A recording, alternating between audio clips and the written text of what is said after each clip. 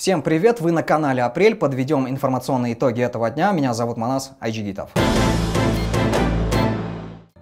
Крупный пожар произошел в городе Карабалта. Очевидцы сегодня утром сняли на видео огромный столб черного дыма. Горело одно из производственных помещений стекольного завода. Огонь тушили два пожарных расчета МЧС и четыре расчета нефтеперерабатывающего завода «Джунда». Причины пожара сейчас выясняются. По предварительным данным, он вспыхнул во время сварочных работ на крыше цеха формовки. Сообщается, что пострадавших нет, всех рабочих успели эвакуировать.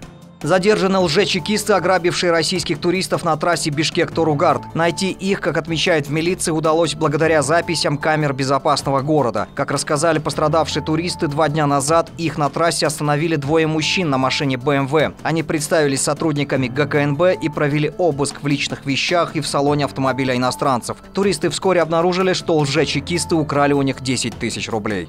В Москве полицейский расстрелял своих коллег. Он открыл огонь по сотрудникам службы собственной безопасности, которые хотели его задержать за вымогательство взятки в 2000 рублей у мигранта из-за отсутствия прописки. В результате стрельбы погиб один сотрудник ОСБ, второй госпитализирован с тяжелым ранением. Позже подозреваемый был задержан, им оказался 35-летний сотрудник полиции московского метрополитена. В СМИ также пишут о другой версии случившегося. Якобы он открыл стрельбу из-за того, что его коллеги подбросили еще одну тысячу рублей к тем деньгам, деньгам, которые он получил в качестве взятки.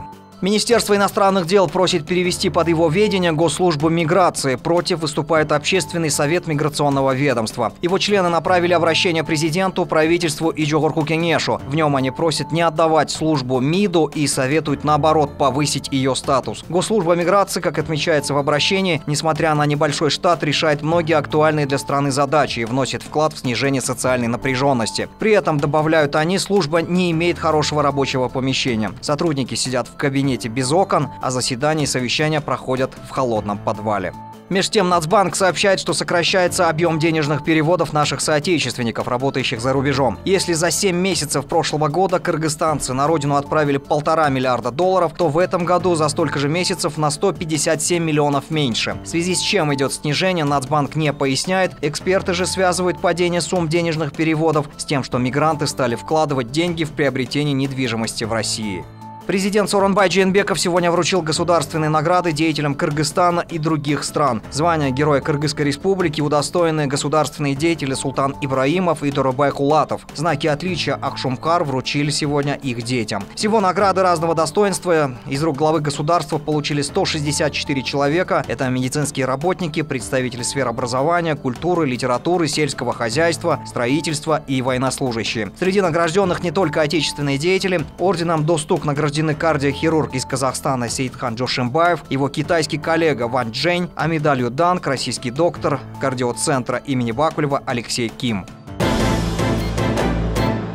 Сегодня в парламенте премьер-министр выступил с докладом по событиям на кыргызско-таджикской границе. Выступил он за закрытыми дверями, только перед депутатами, никакой прессы и наблюдателей. Поэтому все детали конфликта на границе и нюансы переговоров между Кыргызстаном и Таджикистаном для широкой общественности по-прежнему недоступны.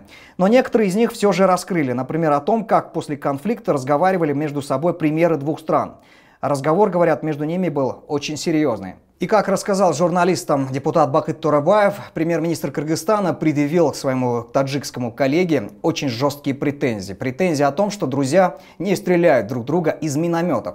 Что на это ответил его таджикский визави, неизвестно. Поделился информацией о событиях на границе и глава пограничной службы Уларбек Шаршеев. Он рассказал журналистам об итогах переговоров представителей погранслужб двух стран. Пришли э, единому мнению э, прийти к исходному то есть постоянно на 14 сентября, когда еще никакие работы не проводились, э, отвести дополнительные силы и средства, которые прибыли на усиление непосредственно к линии границы, охрану осуществлять штатным подразделением границы, э, организовать в целях недопущения конфликтной ситуации между гражданами, организовать совместное патрулирование сотрудниками правоохранительных органов именно отдел, внутр... то есть управление внутренних дел Баткенской области и Сагдийской области Республики Татарстан.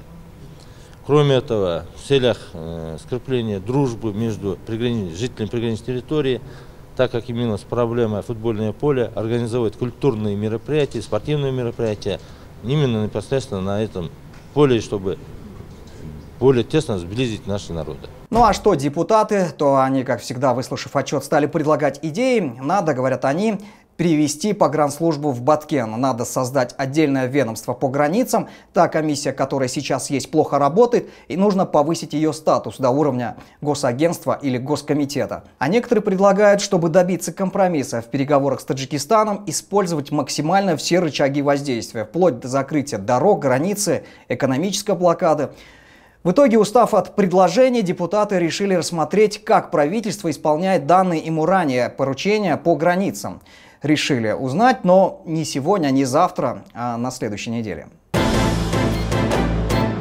Заседали сегодня и члены Государственной комиссии по расследованию событий в Койташе. Вроде как говорили, что она будет закрыта, но судя по тому, что наши коллеги из Азатыка вели оттуда прямую видеотрансляцию, то у пользователей интернета была возможность узнать, о чем там шла речь. Сегодня на заседание были приглашены депутаты Ирина Карамушкина, Асель Кудуранова, бывший глава управделами президента и правительства Туруспек Коэналиев и экс-начальник чекистов Абдиль Сигизбаев. Кудуранова, как отмечается, отказалась от сотрудничества с этой комиссией, она не пришла, ну а тем, кто пришел, говорят, учинили настоящий допрос. Мы слышали, что вы были ранены. Это так?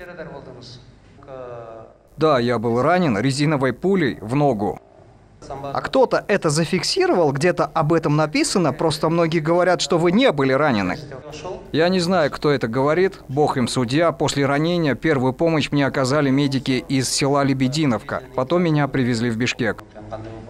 А вот и реакция на работу этой комиссии. Известный в стране правовед, бывший депутат, директор правовой клиники Чолпон Джакупова решила высказаться на этот счет, но для начала решила спросить в соцсетях, а кто-нибудь видит разницу между полномочиями этой комиссии и следствием? А у нас вообще нет положения госкомиссии. Вообще нет. Их работы не регламентированы ничем. Они должны были вначале поставить задачу, какая задача стоит перед госкомиссией. Второе, я не понимаю, есть контрольные полномочия у конституционные контрольные полномочия у Джорджа Кенеша. Госкомиссия создается распоряжением премьера Абулгазиева. Во главе госкомиссии стоит, э, назначается э, как бы куратор по силовому блоку. Но это же прямой конфликт интересов.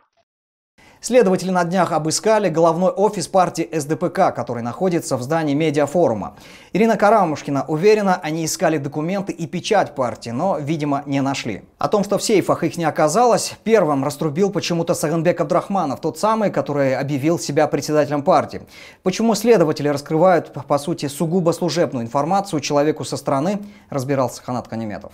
Вот ему сейчас Чухмору сейчас памятник делается. Мы сейчас два памятника делаем же. Постоянной критики Саганбек Абдрахманов привык. Раньше его ругали за неудачный памятник Чокмору возле кинотеатра «Алато». Сейчас же подвергают астракизму за то, что выполняет политические заказы властей. Бывшего губернатора Чуйской области в СМИ связывает с братом президента Аслабеком Джейнбековым. А кто нас финансирует? У нас мы сами. Никто там не Аслабек.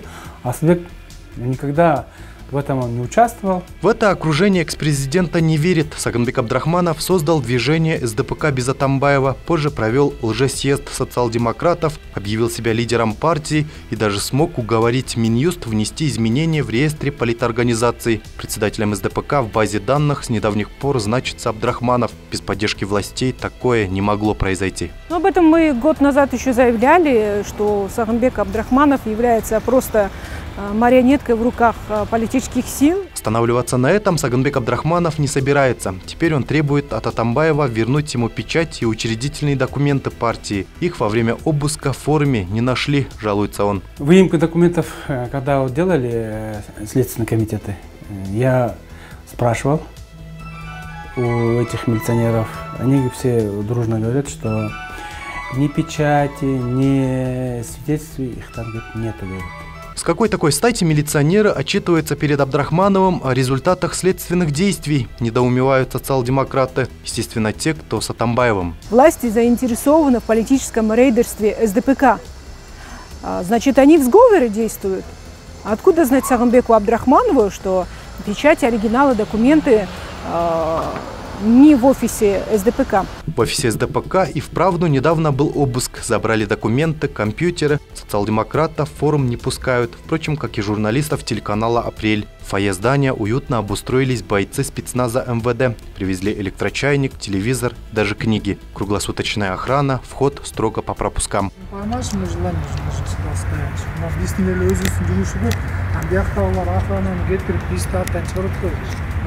Сагынбек Абдрахманов не сомневается, отобрать партию у Атамбаева ему удастся. Планы у него наполеоновские, как минимум попасть в парламент. СДПК будет провластной будет в будущем, потому что на все на это логика вот такой. Документы и печать партии находятся в надежном месте, сообщают в СДПК и добавляют, в руках Абдрахманова они не окажутся никогда. Из форума их давно вывезли. Канат Каниметов, Кайрат Сарбагышев, телеканал «Апрель». Ну а теперь опять поговорим об учебниках. Очередная партия книг, отпечатанная во Вьетнаме, Италии, Индии, прибыла в Кыргызстан опять с браком. В некоторых из них отсутствуют страницы, другие оказались косыми обложками, перепутанными темами. Всего на средства Всемирного банка, это более 7 миллионов долларов, было отпечатано более 3 миллионов экземпляров учебников. Теперь библиотекарям приходится вклеивать каждый учебник вкладыши с исправлениями. И вот что нам по этому поводу рассказала библиотекарь одной из бишкекских школ. В математике там, да, действительно, там меняют местами, смысл меняется местами. Вот эти все опечатки, какие были замечены, они во все учебники были вклеены, и детям розданы уже вместе с этими вот наклеенными, замеченными опечатками. Ну, достаточно много пришлось склеивать. Больше тысячи, наверное, было по всех полностью учебников. Ну, мы вместе, дружненько мне помогли. Представляете, это во время урока ученик должен несколько раз нырять в конец учебника, чтобы ознакомиться с правильным вариантом. Больше всего опечатках в учебниках по кыргызскому языку для пятых классов, но ошибки и опечатки это всего лишь вершина айсберга. Исследовательский институт Булан опубликовал довольно обширный доклад, мы внимательно его изучили. Министерству образования и его уполномоченным органам, наверное, тоже не помешало бы это сделать. Вот лишь некоторые выдержки из этого доклада. Ошибки в новых учебниках – это только вершина айсберга. Согласно докладу Института Булан, нарушения начались еще на этапе тендера. Так, типография «Аркус» начала печатать учебники по математике для пятых классов еще до его проведения. А авторы учебников по истории и вовсе оказались не в курсе, что их рукописи были представлены на конкурс. За их счет искусственно увеличили количество его участников. Так называемом конкурсе преобладающим фактором выступают личные связи. Обеспечивается победа нужного человека в конкурсе. Так бывало, что рукопись поступала в академию в качестве победителя. Посмотрели и убедились в том, что она не соответствует школьной программе, не отвечает требуемым стандартам, написана безграмотно. Были выявлены сотни ошибок в содержании учебников. В школах острая нехватка учебников, родители отправляют покупать то один, то другой, а в подземных переходах, между тем, все учебники есть. Мистика какая-то. Теневая система по обогащению за счет авторов книг продолжается. Мою книгу в подземках продают по 250 сомов. А ведь издание учебника осуществлялось при поддержке Всемирного банка. Следовательно, книга должна была дойти до школ и раздаваться детям бесплатно. Где и каким образом и через кого учебник появился на рынках, для меня это остается загадкой.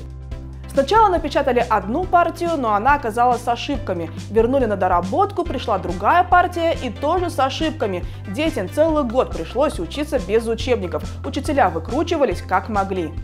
По математике мы не знали, как проводить занятия, и в конце концов высказались. Мы целую четверть прождали поступление книги. Что мы и дальше будем ждать книгу, вообще не проводя никаких занятий? Затем по старой программе мы пошли обратно и вернулись к прежним темам. Кое-как завершили прошлый учебный год. Поступили новые книги, проставили печать и приняли. Начали пролистывать каждую страницу, просматривая книги. В одной из книг с 17 страницы сразу переход на 33 страницу. Некоторые страницы вообще отсутствуют. Поэтому некоторые темы в отдельных книгах находятся в середине книги, а в других в самом конце книги. Как ребята будут обучаться по этим книгам, я не понимаю. Но самый интересный момент – это деньги. Ну вот, например, в этом году наше правительство заключило с Европейским Союзом договор о совершенствовании системы образования в Кыргызстане. 35 миллионов евро должен выделить Европейский Союз на образование в Кыргызстане. И что вы думаете, вся сумма пойдет на эту благую цель? Хм, как бы не так. Из 35 миллионов евро, которые Евросоюз выделяет в качестве гранта на реформу сферы образования, 32 миллиона уйдут на поддержку республиканского бюджета. Сколько там остается на образование? Ну вот еще информация к размышлению. На издание 129 наименований учебников Всемирный банк выделил около 7,5 миллионов долларов. Из них 45% пришло в виде грантов и остальные 55% в виде кредита на 38 лет с процентной ставкой 75 сотых. При этом после завершения проекта первые 6 лет можно не платить по долгам. Но уже с 2026 года за эти учебники с ошибками мы должны будем начать выплачивать кредит. Юлия Кулешова, Дмитрий Толстогузов, Хасан Гафиров, телеканал «Апрель». И закончим выпуск замечательной новостью для любителей спорта. В эти дни в Нур-Султане проходит чемпионат мира по спортивной борьбе Айслу Тыныбекова в шаге от золота. Наша атлетка в четвертьфинале победила представительницу Японии в полуфинале спортсменку из Северной Кореи. Этот результат позволил Тыныбековой завоевать лицензию на Олимпиаду, которая пройдет в следующем году в Токио. Вот такие на сегодня были новости. Всем спасибо за внимание. Берегите себя. Увидимся завтра. Пока.